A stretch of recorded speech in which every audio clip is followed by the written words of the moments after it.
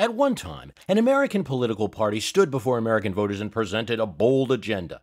An increase in old age pensions, cost of living adjustments for veterans, slum clearance, and low rent housing paid for by the federal government, a well paid and efficient federal workforce, federal funds for more hospitals and care for the mentally ill, collective, not unilateral national security using the United Nations and equipping the UN with an army, equal pay regardless of gender, with the submission of the Equal Rights Amendment who were these knee jerk liberals? It was the 1948 Republican Convention.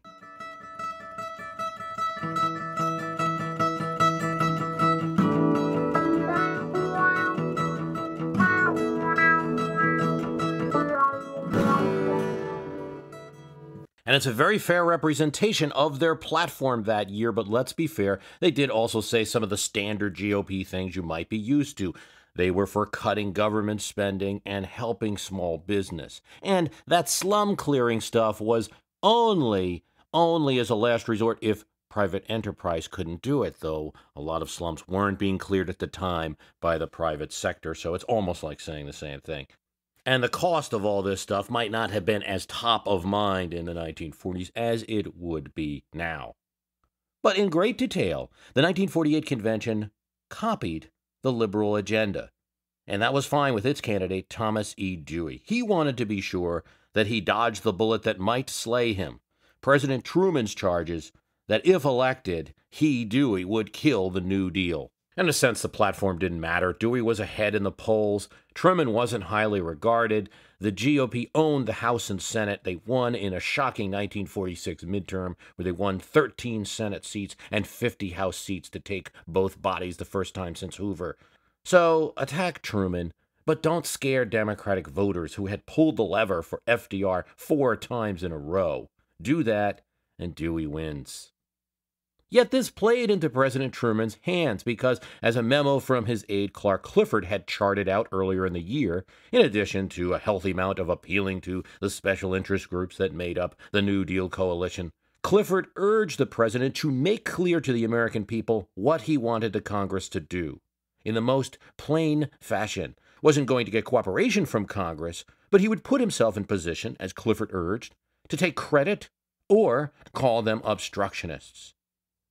I think you need to understand that President Truman was only vice president for a few months when FDR died. He was known in Washington. He had been a senator for 10 years. He was certainly known in Missouri at this point, but not well known outside in the rest of the nation. And as president, when he made speeches compared to FDR, he was less charismatic. And as he was running the country and not campaigning, he was making dull presidential kind of speeches. It was so bad that Walter Lippmann said Truman's insistence on being nominated when his party doesn't want it shows the pomp and power of the presidency can turn humility into stubborn pride. And the dean of political journalists, James Hagerty of the New York Times, said, The nominee of the GOP convention will be the next president. So, given all these expectations, when he came out as Fighting Harry in the 1948 Democratic Convention, I think it made an impact. On July 26, which in Missouri we call Turnip Day, I am going to call Congress into session and ask them to pass laws to halt rising prices, meet the housing crisis, and support education, which they say they are for. And when he did call Congress into special session, and Congress did not enact the entire platform of 1948 as they proposed, he was able to say it was a do nothing Congress and run on that point. This is important, as Mark Murray asks on the My History Can Beat Up Your Politics Facebook site Do you think President Obama will point much of the blame on Congress, as Truman did in 1948? And if he did, would it resonate? Okay, well, great question, Mark. But uh, there are some reasons that I present that background because you can make that case of the do nothing Congress, and I think presidents have a lot since Truman. But I think it's important to know about 1948 and that the GOP had handed Truman's rhetorical weapon over to him by putting out a platform that was similar in ideology to the president. So Truman could just say, okay, it's turnip day, do it. So I think it's a very different thing when it's a clear and well publicized and well stated ideological difference between the two parties. And as much as not all voters follow politics, I think they can get that. And there are enough partisans on either side making that clear in blogs. You will not have a Republican platform that is similar to the Democratic agenda. At least I don't think so. You know, but what he's not going to do is, and not able to do, is what Truman did in a sense and say to John Boehner, okay, have a free shot on me. Put Congress in session and work on Romney's platform. Because I don't think President Obama is going to like Romney's platform. That's my guess anyway. I don't think it's going to involve, you know, health care and stimulus and the kind of things that Obama would like to see. Another problem is the Senate. Unlike Truman's 1948 situation, President Obama controls the Senate. Start calling it a do nothing Congress, and, you know, three fingers pointed back at the party of Jackson. You could say do nothing House. Well, you're losing a little punch there, and people know the Senate has a role, so it always can be blamed partially on that body. In Truman's case, the legislative branch was beyond his control by the time of his election. Third point I might make is that I would say 1948 is a poor comparison right now I don't actually put Obama in as rock bottom politically a position as Truman was. So playing the underdog might be tough because he's not there yet, at least in the eyes of the media eh, or polls. He's not in the position that, that Truman was in. You know, one could look deeper into 1948, as some political scientists have, and question whether all that give 'em hell, fighting Harry, really was the decisive element. I think that it's fun political history. It's a great story. Campaigns and elections, it's, you know, historic. I think, though, it was all magnified in a way no other election will be by the fact that the media blew it so badly. They stopped polling, they started calling the election for Dewey early. But all through that year, there were some positives for the president. He had a 2% unemployment rate, where a lot of people thought coming out of World War II the economy would sink again. That's what happened after World War I, and that was what was on people's mind. Inflation was bad to be sure. There were wage and price controls, although that had its own grumbles that came with that.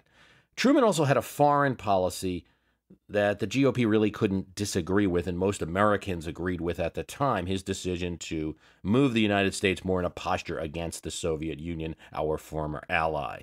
You know, we all think we know why an election was won, and the story of 1948 has become the train ride, and it certainly could have been a factor. This is the debate among political scientists, and some think that it, there's no meaning to campaigns whatsoever. The president's going to win on their record, voters are going to do what they're going to do, and the campaign's just a sideshow.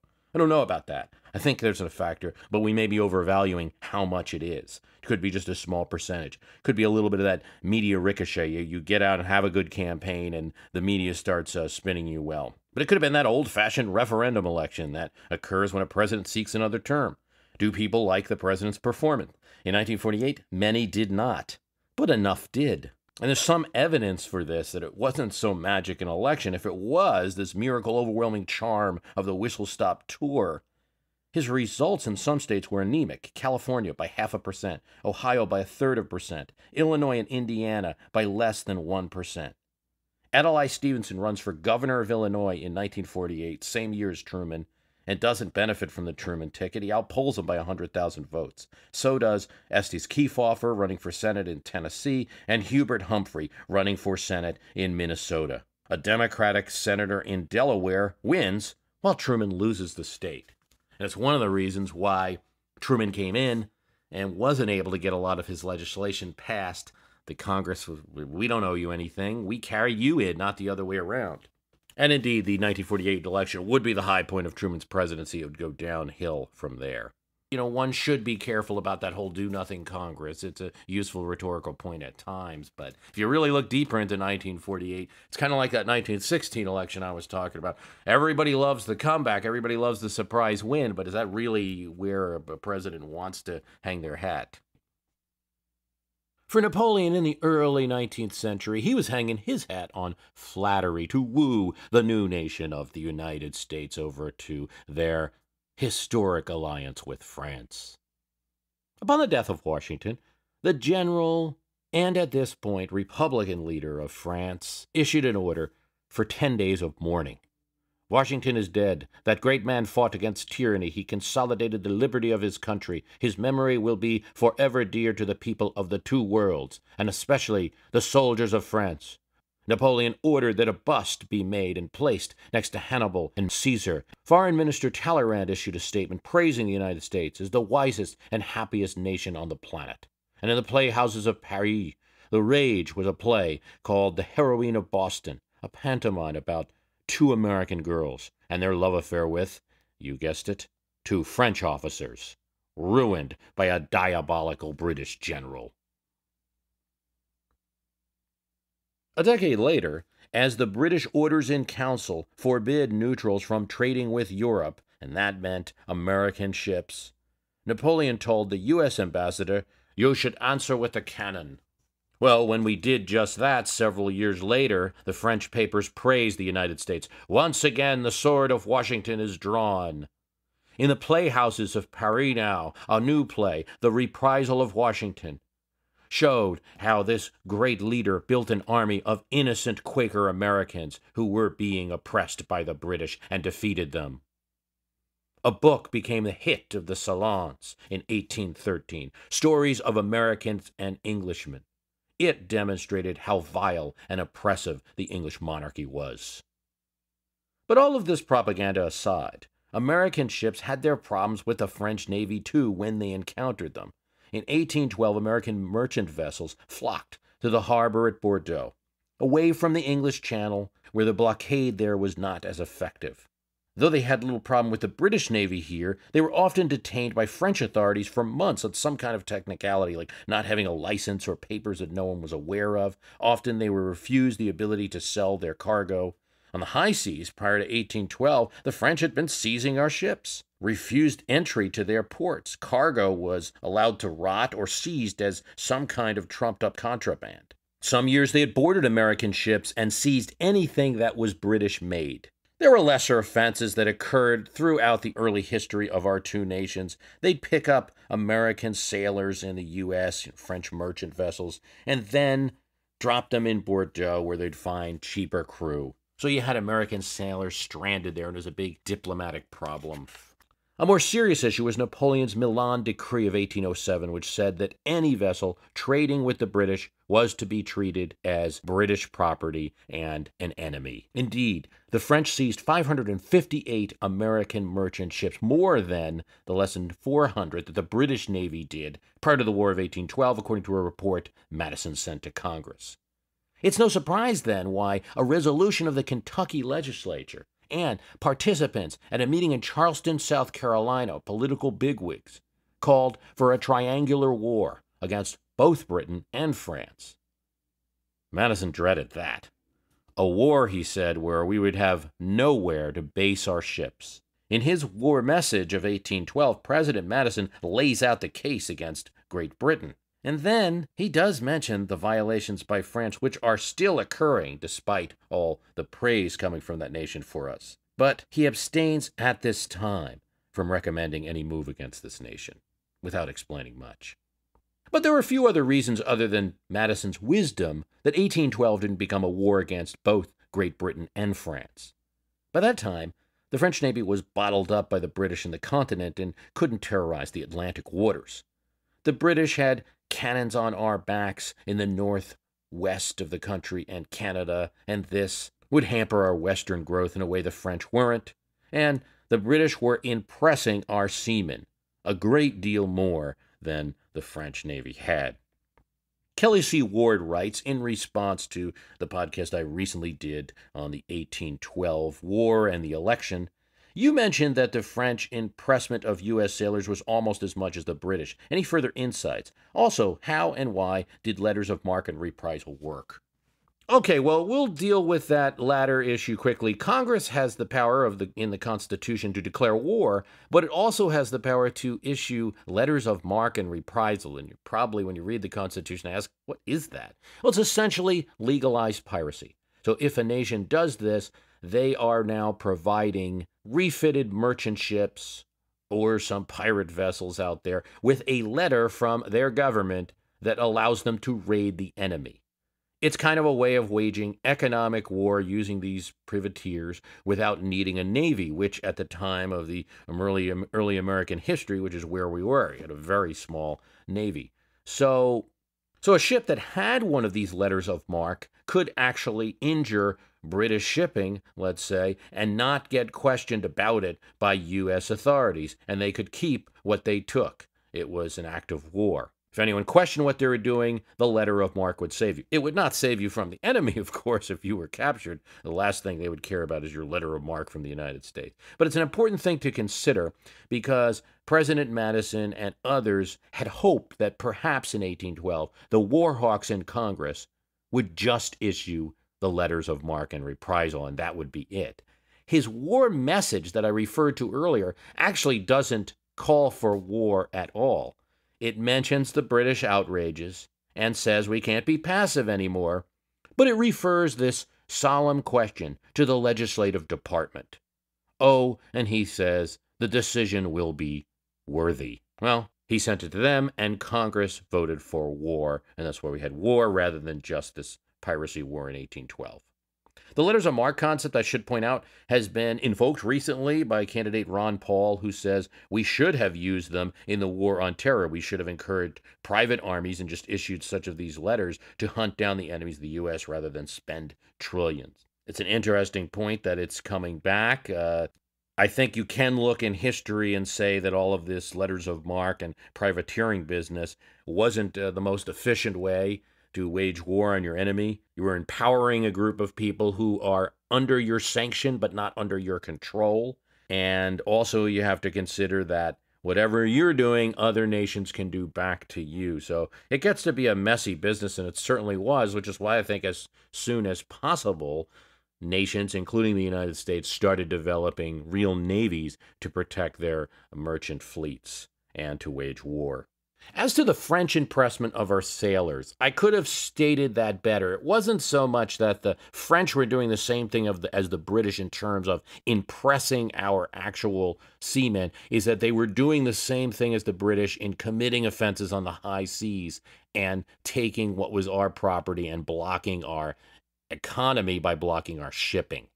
So, actually, in terms of impressment, the British were doing quite a bit more of that from what we can see. French were doing more of the seizing of ships. Impressment is a more emotional issue. You're actually taking someone often for a alleged term of five years, but it can even be more. It's virtual slavery. You might get paid something. The British considered Englishmen who went on American vessels to be subject to their uh, service in their Royal Navy. And at different times, they considered Americans on American vessels to be subject to that as well. Once an Englishman, always an Englishman was the Navy's unofficial rule. Even a natural born American didn't you know, carry a card or anything like that. Officers often violated even the British Navy's own rules and were rarely punished for it. The most important thing is that the British needed manpower in their Navy. Press gang hits the American merchant ships in boarding parties, just like pirates, and would even go at some times to American ports and drag up anybody who had had too much rum and looked British. Small nation, big navy. They needed manpower. And the British had more of a need than France with its large population and conscription system.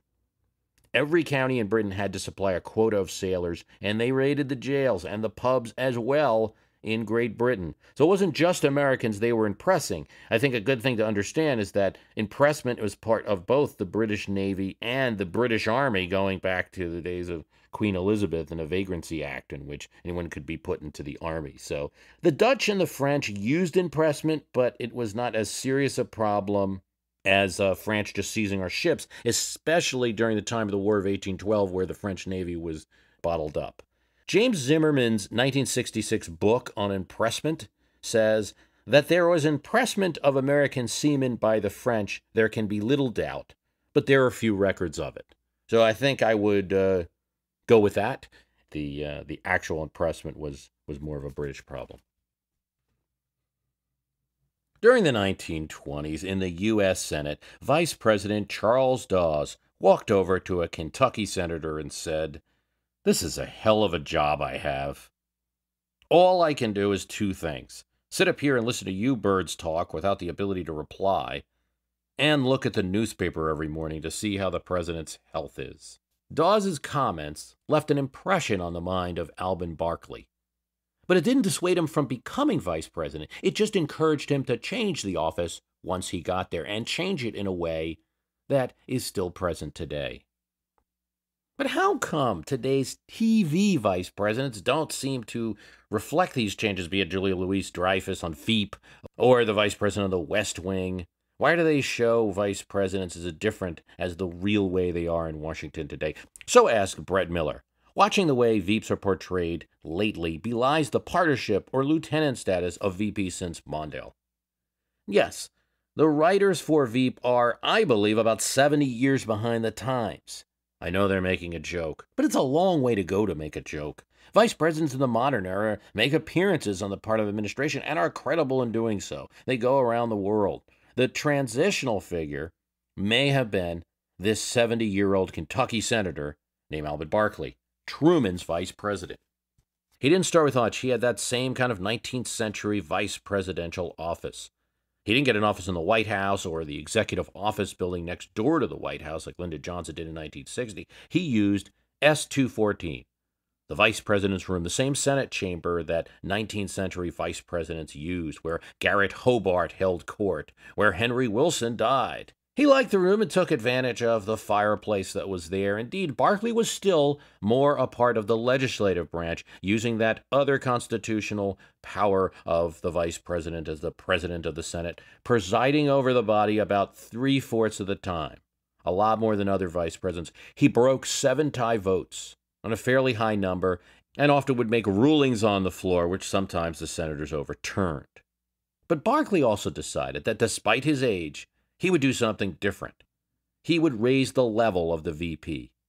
He took part in party meetings, cabinet meetings, group meetings with the president, not yet those kind of one on one lunches that you hear about today, but group meetings where the president was meeting with members of Congress. And he was the first VP to be a member of the National Security Council. This was big. Truman, as vice president, had been saddled with a national security secret of atomic proportions. Barkley was let into the NSC. And it was partially because of Barkley's status. He had been a senator for 20 years, 12 years as majority leader of his party. And he was not going to enter, as he said, a four year period of silence. I enjoy people, and I like the thrill of crowds. He took every invite he could get, hundreds of them, spoke around the country, spoke at various meetings in Washington, even did his own TV show, Meet the Veep. So Barkley elevated the profile a little bit so that by the time you get to Richard Nixon, well, Barkley was going to the NSC meetings, so so should Nixon. And Eisenhower let them in there, and he was allowed in cabinet meetings. This is a big deal. Both Coolidge and Hoover turned down their VPs when they asked to be in cabinet meetings. Since Eisenhower didn't care to campaign in midterms, Nixon was the voice of the administration during those political campaigns. When Eisenhower had a heart attack in 1954, Nixon quietly took over cabinet meetings and made sure that no other members of the cabinet took advantage of Ike while he was away. In 1959, Nixon was sent to the Soviet Union and met with Nikita Khrushchev. Pretty big deal. Now you have Veeps that are having weekly lunches with the president, offices in the West Wing, and a telling sign since Walter Mondale, a house at the Naval Observatory, where Alben Barkley and the others had to get their own accommodations. Vice President Cheney was certainly the most powerful vice president and a key advisor. Alan Simpson says, you know, some of these notions are foolish. He never did anything that George W. Bush didn't want anyway, but obviously a force to be reckoned with in that White House. I see an increasing role for the vice president really since Mondale as an ombudsman. You see this in Al Gore, Walter Mondale, Joe Biden. You know, the vice president is the only man that works for the president, but the president can't really fire. Yes, they can drop them from the ticket, etc., but they have a constitutional link to their office that the president really can't sever. So I think that if it's the right person, they're able to kind of talk back to the president, tell the president what he doesn't want to hear but should hear. And you definitely see that role, at least in those three. There are some that are a little weaker. This linear progression of the vice presidency isn't always exact. Did Dan Quayle really have that much to advise George H.W. Bush on? Was Hubert Humphrey really advising Lyndon Johnson?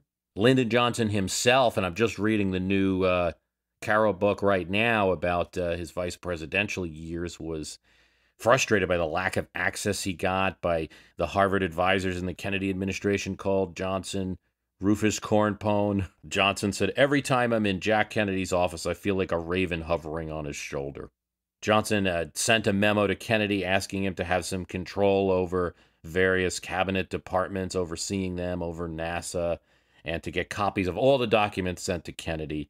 Kennedy just ignored the memo, though he did put him in charge as the chair of the space program. So it's not always exact. Not everybody's as tight with the president, obviously. I think some VPs are chosen for their appeal to some group of the president's party. So Hubert Humphrey, you know, his job was to cover the liberal flank for the party. I think Dan Quayle was covering the right wing for George H.W. Bush. But that kind of dynamic's not present with Biden, or Gore, or Cheney, so I think they had a larger role in governing. So, yeah, I think the portrayals are a little out of date. It is possible you could get a vice president like the Veep show who has no role, but it would be highly suspect these days because the media would continually ask the question why isn't this vice president doing everything that Cheney did?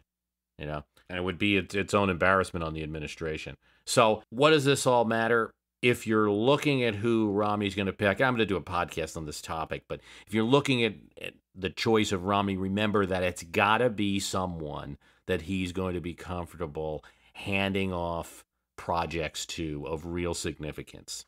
No longer just visiting, you know, tiny Latin American nations, but going to visit some of the serious major players on the world stage and being really the president's lieutenant. Okay, Matthew Norman writes on the My History Can Beat Up Your Politics Facebook site From time to time, I have seen, read, watched, heard articles where President Obama was referred to as Mr. Obama. I never remember other presidents being called Mr., though I could chalk it up to a poor memory. I thought proper usage was to always call him President, last name, or at least Mr. President. Okay, the president, yes, of course, in address is called Mr. President. But what you were talking about there is journalistic references. Here, I would suggest that this is largely the result of old newspaper style, particularly the New York Times, which always uses Mr. and then last name in the article after one initial use of a person's title, like president, last name, etc. So they will say Mr. Obama in New York Times articles. And it's certainly no reflection on President Obama. It was the same a few years ago. They would use Mr. Bush after in the beginning of the article saying President Bush. As goes the Gray Lady, so do a lot of journalists. So they will say Mr. Clinton, Mr. Reagan, and if referring to the rock star, Mr. Bowie. And as a sign it's not a new thing, I cite an article from the New York Times, April 16, 1861. The headline is In Louisiana, Reception of President Lincoln's Proclamation. Then, the first sentence Mr. Lincoln's war proclamation was received with no astonishment, etc., etc., etc. The Times was a supporter of Lincoln, yet they used the Mr. style. I suppose Mr. was a more formal title than it seems now, so it wasn't an insult in any way. And I guess it's just a matter of not wanting to repeat President, President, President uh, over and over again. Clifford Gates writes I live in the town that Admiral Yamamoto was born in, and it was bombed the last week of the war. Paradoxically, the town honors Yamamoto here as a heroic native son, with a large statue of him. I'm often reminded that he was personally opposed to the attack on Pearl Harbor. Is that a reason to cut him some slack? Is there dirt on the guy, or is he deserving of admiration? Thanks, Cliff, For just some quick thoughts on this. It's not fair to say he opposed the Pearl Harbor attack, but that he had reservations about it. He carried out uh, under instructions the attack and did everything he could to make it successful. He had expressed reservations prior to the attack that, look, if we do this, I'll have six months to a year where I'll run wild. But then we're going to have to win because the long term war will be very difficult. We're going to have to go all the way to Washington in order to get this nation to surrender.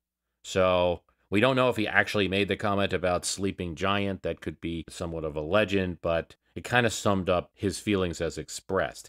I think the one thing positive you can definitely say about Yamamoto is he was opposed to the pact with the Axis powers, the pact with the Nazis. And he opposed that at some possible sacrifice to his career. You know, he was ridiculed by his fellow officers.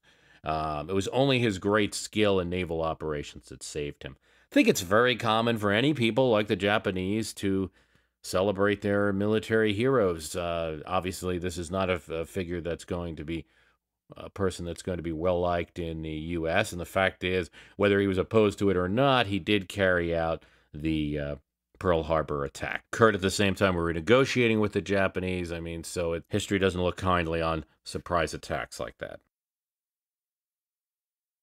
It sounds like I'm telling some mythic tale, a city that sprung out out of nowhere next to a lake. Rows of similar houses in pastel colors yellow, blue, light gray, with oversized garages on winding streets, every once in a while with a cul de sac, or a man made lake, or golf course. You can order your own on the internet. It's called The Villages, and it's one of the most popular retirement communities in Florida now, in the central county of Sumter. And its influence could go all the way to the White House. Because part of the reason Florida gained two electoral votes in the 2012 election map is that Sumter had 24,000 people when Reagan was elected in 1980, and it has 93,000 today. Yet this is an old story. Florida has been gaining population for decades, since William Jennings Bryan bought some land there and started promoting the state in the 1920s. In Harry Truman's reelection, it had eight electoral votes to give him. Now it has 29. It's still growing as coastal population moves inward, and people are still moving from the Northeast and Midwest to Palm Beach and Miami, though at slightly less rate than they were before. California, meanwhile, grew from 25 electoral votes in the time of Harry Truman to 55 for the 2004 election. No surprise there as Easterners flooded west. Population came up from Mexico, and the city dwellers in California moved to western CA counties, spreading the state's population out. Plenty of room at the Hotel California. But in 2012, there was no gain, and the state has the same 55 votes to give as it did in 2004 which was only one vote more than it had in the 1992 election. All of this is relevant as Dave Podner asks me given demographic trends, how would the Electoral College change and which states would lose the most in 2024? I really, I'll just try anything, I guess. Uh, I can talk generally about it. There's two things, though, that are not visible right now. One is the real impact of the recession, because, for instance, I don't know if Nevada's one electoral vote gain in 2012 if that was real or if they're going to lose that with the kind of unemployment they have there and the housing market that you have there uh, right now, which might cause some problems in that state. What's going to happen in the rest of this decade? We don't know. So we're making projections based on the 2010 and 2012 data that we have. But I will do it, and I think there are some trends you can see. The more shocking part to me about 2024, I think, will be that the pattern we've gotten used to won't happen as fast. We expect everyone to be going from the east to Florida and California, leaving New York, etc. I mean, that state, New York, once 11% of all the electoral votes in the nation 200 years ago, is now 5.3% of America's total election power. Ohio drops, Pennsylvania drops, Michigan, Minnesota, Wisconsin, Iowa, Indiana. I would expect drops there to continue. The Northeast and Midwest will give votes to other states. But where those people, those voters, and those electoral votes go will be more diffuse than it has in the past. If you're an Ohioan tired of Cleveland or a Pennsylvanian tired of Philly, now in the 2010s, are you dreaming about going to Southern California? Maybe, but not the same way you might have in the 70s or 80s. You might be thinking now about the traffic or the jobs, not just the nice palm trees. Instead, South Carolina, North Carolina, Utah, Colorado, and Texas are states that might beckon you. Texas gained four electoral votes in the 2012 election, and given its population centers, Fort Worth, Austin, the Mexican border. I would expect that state to continue to grow in 2024. That's a pretty easy call to make. I still see Florida pick up maybe one electoral vote because of the continued, albeit smaller, growth of retirees there and also younger families moving to that state. The area I would look at is the coastal South, both Carolinas, Virginia, Georgia. Think you'll see gains there. Washington State seems likely to continue to gain.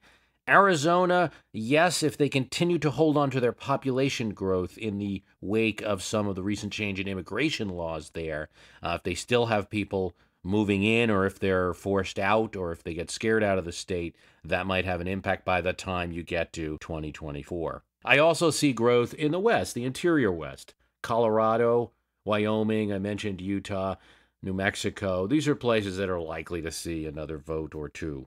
None of it's shocking. Deep South continues to lose. You know, if you're not connected to that coast, Arkansas, Louisiana, Alabama, Mississippi, uh, Kentucky, West Virginia, Tennessee to some extent, losing electoral votes.